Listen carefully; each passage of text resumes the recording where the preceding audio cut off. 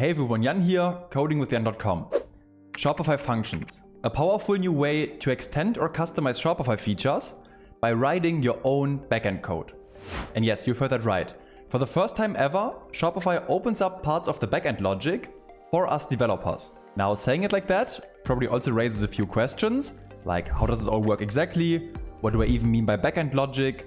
How are functions different from traditional apps? And how can we get started? But no worries, my friend, because coincidentally, that's exactly what we are going over today. And I really hope you find some value in this. So then let's have a look. All right, so then let's get started by answering the how does this all work? And therefore, let's first consider the typical dev stack, which was also beautifully illustrated on the Shopify devs channel. So we can think about a store in three simple layers. First of all, we have the database.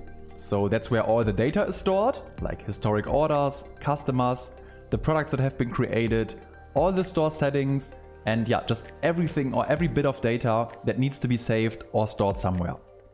On top of that, we then have the backend.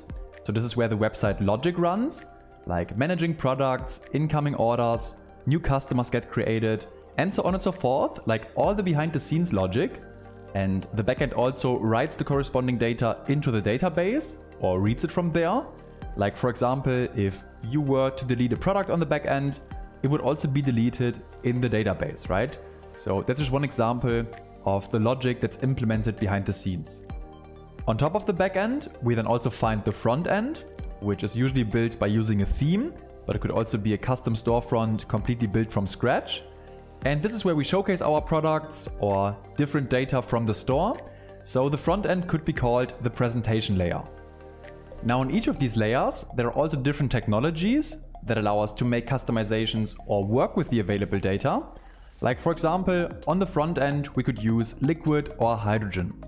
And the database is directly accessible through the Shopify API. Now historically, the only thing where we couldn't make any changes or augment anything is the backend logic.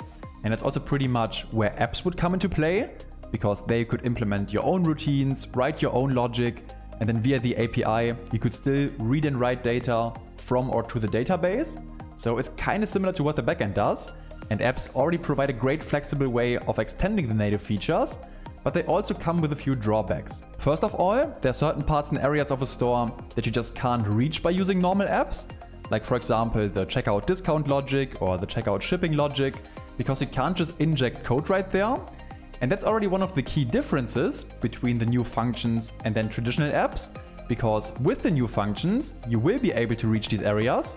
And actually the checkout discount logic is the first place where the backend logic is opened up. And then other key areas will follow over time. And I will also try to add a small list of like upcoming areas somewhere here on the side. The second drawback with traditional apps is that you would need to figure out your own hosting which in and of itself is not too much of a problem because it's actually not too difficult. But if your app solves some time critical tasks, then you might face some issues with limited bandwidth if your server can't scale up that quickly. And that's actually very important because with Shopify websites, scalability is never an issue. You can have like 10 visitors per hour, but you can also have 100,000 and the website just doesn't crash.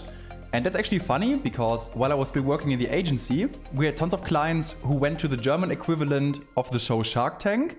So this is like people would present their product ideas, searching for investors, and then all these websites had huge traffic spikes because it was like broadcasted on television during prime time. And then our websites never had a problem with that because Shopify takes care automatically. But other WordPress websites were like crashing left and right, and developers would be like crawling through the pieces that have once been called their website, begging us like, "Hey guys, how did you build these websites?" And we were like playing it cool. Yeah, just just use Shopify, whatever. and I mean, of course, slightly overplayed here, but based on true story, man, we had a good time working in the agency. But anyways, what I'm trying to say here is that if your app solves a time critical task, then it shouldn't be the bottleneck of the website, and you just have to ensure performance. And that's also a new major benefit with Shopify functions because they literally run on Shopify's infrastructure and can execute in less than 5 milliseconds. And they also scale up yeah, to pretty much the largest sale events on the planet. So how cool is that? All right, now the last key difference I think you should be aware of is that with Shopify functions, we can now seamlessly integrate our settings into the admin dashboard. So for example, if we're talking about a discount function, you can also have the settings or the interface to configure your function right at the discounts, where it actually makes most sense. And with traditional apps, you would always have to go into the apps tab, then bring up your app, and then configure everything there. So I think that's an improvement. However, it's very important to understand that the settings for your functions or the interface to configure everything still has to be served through your own server.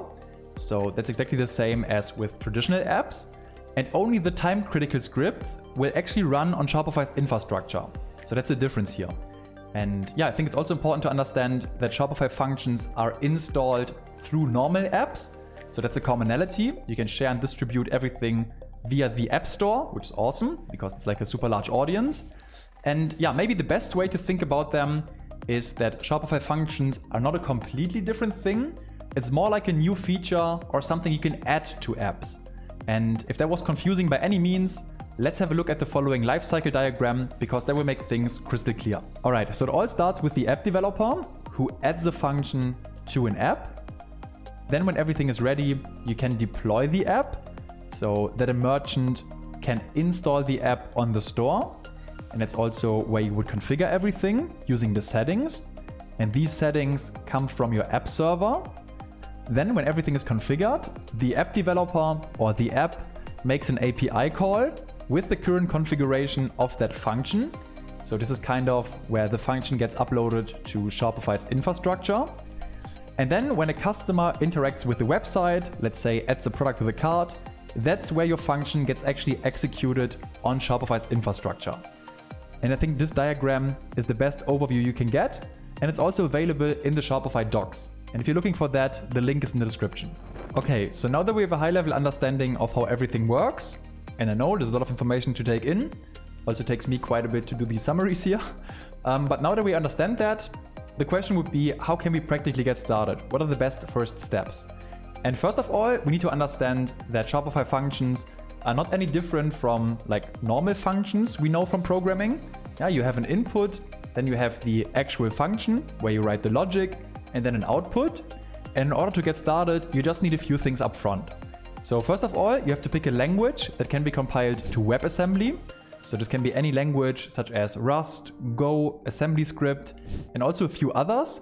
But when picking others, you have to pay attention to file size because your compiled function cannot exceed 256 kilobytes. That's important. Yeah, because as we mentioned earlier, Shopify deeply cares about performance and the functions have to be fast.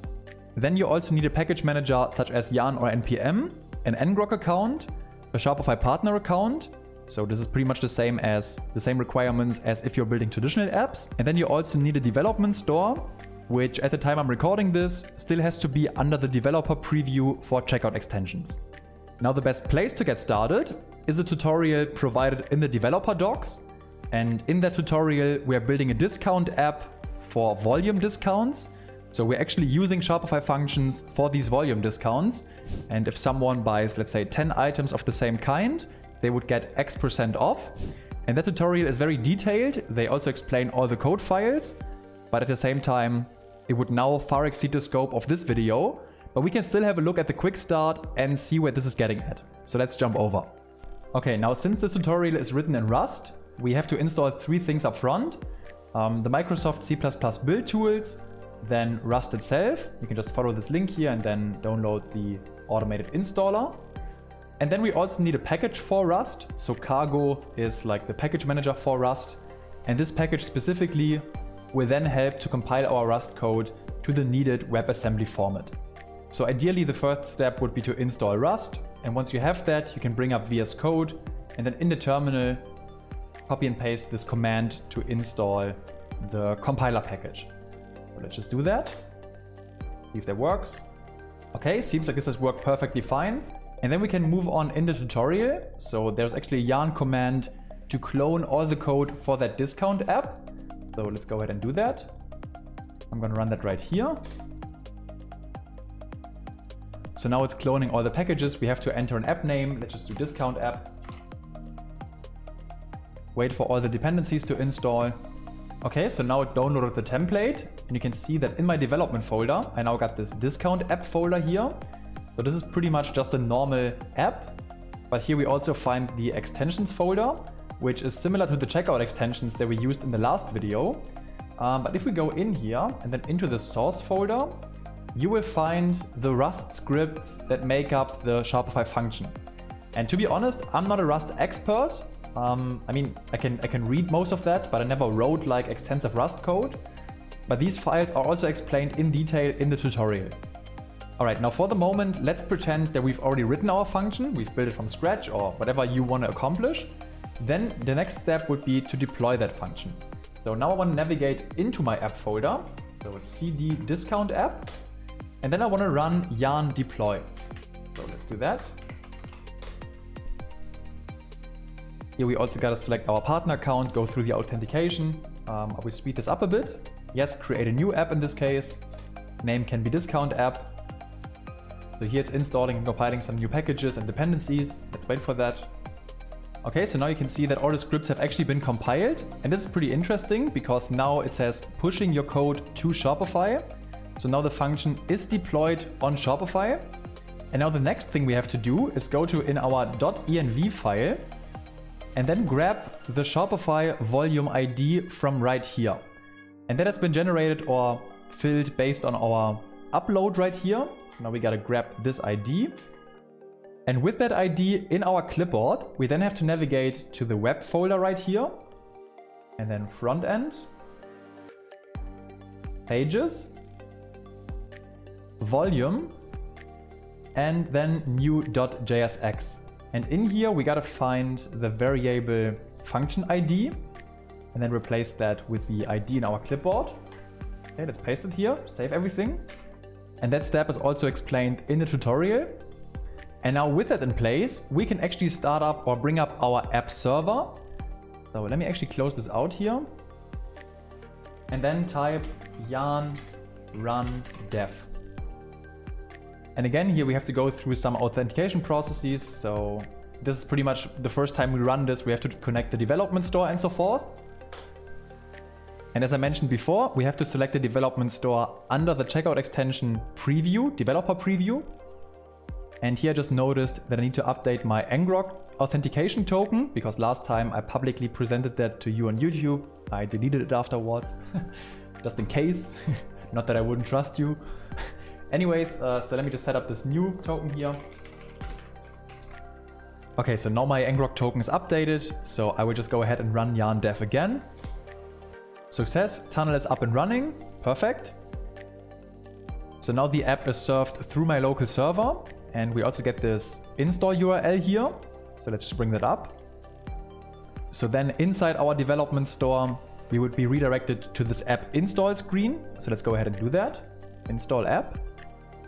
Okay, and now that the app was successfully installed, we got redirected to this welcome screen here. So this one is built on Polaris and it's just like a regular UI that we all know from traditional apps. But if we now go to the discount settings right here and then create a new discount, we should find one further option coming from our Shopify function. So if we now click on add new volume discount, the interface gets loaded. And as you just saw, it took a bit longer than usual. And that's because the interface to configure our new function is still coming from our local app server. Yeah, so that's what I meant when earlier I said the interface or the settings still have to be served through our own app, but the actual function, the actual function script, will then run on Shopify's infrastructure. Okay, so now let's go ahead and then create a discount. So let's just do an automatic one. Let's call it test. And minimum quantity of products would be five, let's say, and then 10% discount. Uh, let's save that for now. So here's our newly created discount code. It's called test and then of type volume. And now we can go ahead and preview one of the product pages. And I got a test product in here for five bucks. So then let's actually add that five times. Add to cart. And on the cart page, we should now see that our new discount gets applied automatically. So we get 10% off. And if I raise the quantity, it should still be there. Perfect. And if we go below five, then the card would no longer be eligible for this discount and it gets removed automatically. But now we see that our new discount, or better to say our new function script, works perfectly fine.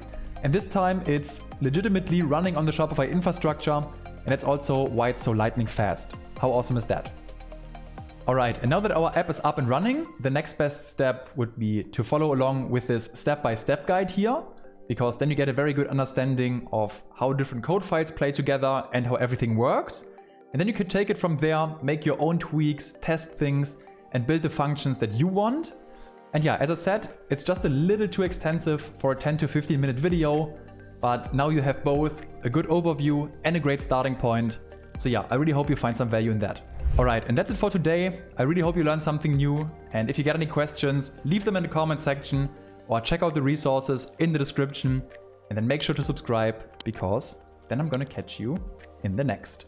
Have an amazing day. Bye.